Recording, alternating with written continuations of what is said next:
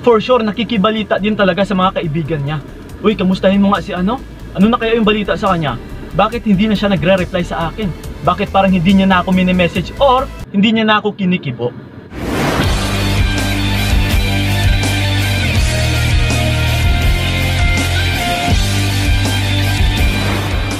Yun, what's up?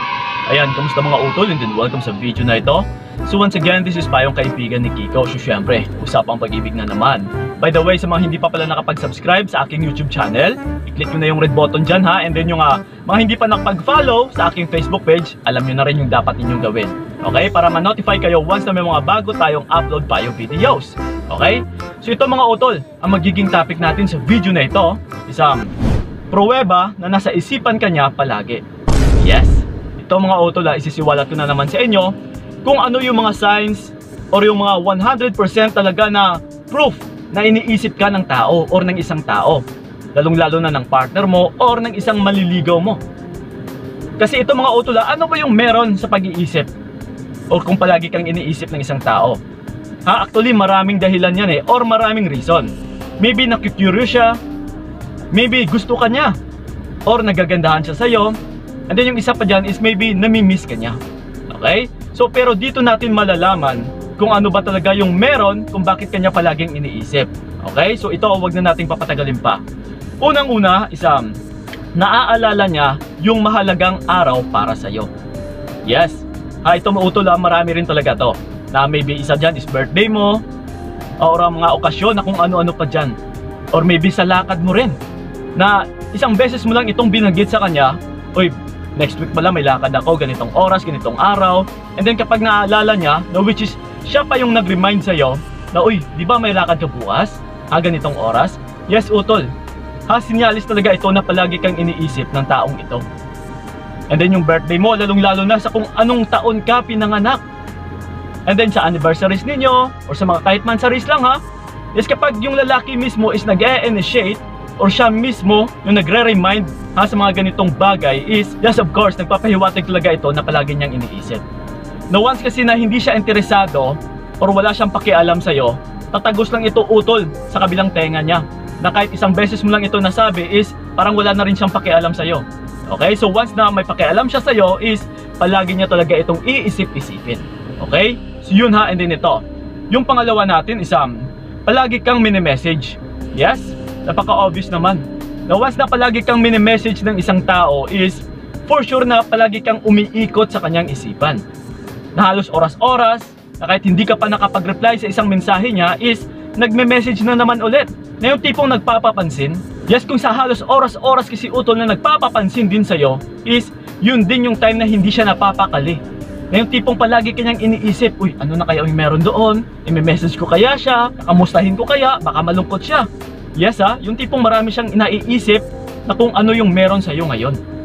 Kaso kung ganito yung ginagawa ng isang tao na nagpapapansin sa'yo na palagi kang mini-message, alam mo na kung ano yung dahilan.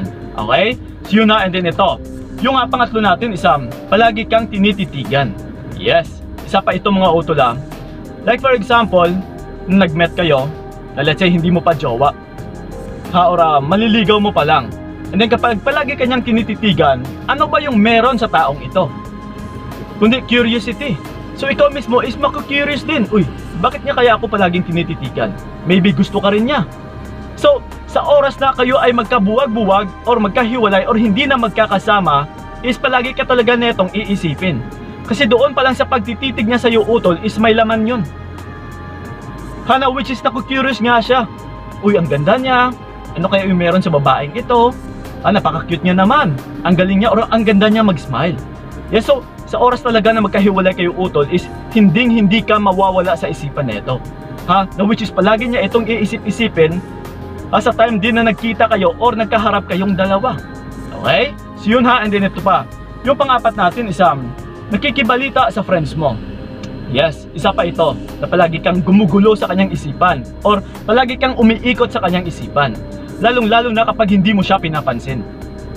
Ha, so once na nakikibalita sa mga friends mo, na yung friends mo is nakibalita rin sa iyo na, uy, alam mo ba si ano, palagi kang mini-message sa akin. Palagi kang kinakamusta sa akin. So kausapin mo na nga doon. Yes, utol. So once gumaganito na yung mga kaibigan mo sa'yo, nang dahil din sa kanya na nagpapaabot ng balita is for sure, hindi siya mapapakali na gusto ka talaga niyang makausap. Okay? So yun ha, and then ito pa, yung uh, panglima natin isang nakikibalita yung friends niya sa'yo. Yes, isa pa ito mga utol. Na yung mga friends niya is nakikibalita din sa'yo, like I said kanina, na siya mismo ay for sure nakikibalita din talaga sa mga kaibigan niya. Uy, kamustahin mo nga si ano? Ano na kaya yung balita sa kanya? Bakit hindi na siya nagre-reply sa akin? Bakit parang hindi niya na ako mini-message or hindi niya na ako kinikibo? Uh, so once na yung kaibigan niya is nangangamusta din sa'yo, for sure yan utol na palagi kanyang iniisip. Okay? So yun na, and then ito pa, yung pang-anim natin is um, nagre-react sa bawat post mo. Yes, isa pa talaga ito. Na yung tipo talaga nagpapapansin sa'yo. Parang yung tipong nagpapakita din ng interest sa'yo. So ito mga utol ha, huwag ka na talagang magtaka. Kung sa bawat post mo is palagi siyang nagre-react, nag-heart-heart or nagko-comment is for sure, palagi ka rin netong iniisip. Or kung ano-ano man yung pumapasok sa kanyang isipan, hana which is kasama ka. Okay? So yun na, and then ito pa, yung uh, panghuli natin isang palagi mo siyang naiisip. Yes, isa pa ito mga utol, na kung palagi kang iniisip ng isang tao, ha, may connection din ito pagdating sa'yo.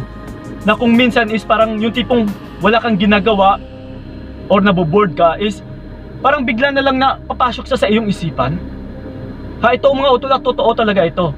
Na once na iniisip ka ng isang tao, ikaw mismo is makakaramdam ka rin na parang bigla mo na lang din siya maaalala. And then kapag ikaw din naman, vice versa, na yung parang palagi kang nababalisa, na siya palagi din yung iniisip mo, isa lang din ibig sabihin yan, iniisip ka rin ng taong yun. Okay? So yun lang mga utol ha, yung pruweba natin na for sure 100% talaga na iniisip ka ng taong yan. Or palagi kang umiikot din sa kanyang isipan na siya mismo ay hindi mapapakali kakaisip din sa'yo. Okay? So yung mga utol ha, sanay nakatulong talaga yung video na ito. So ingat kayo ha, maraming maraming salamat talaga. God bless and babush!